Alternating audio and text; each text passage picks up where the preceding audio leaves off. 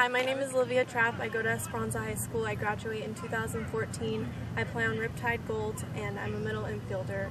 Thank you for watching my video.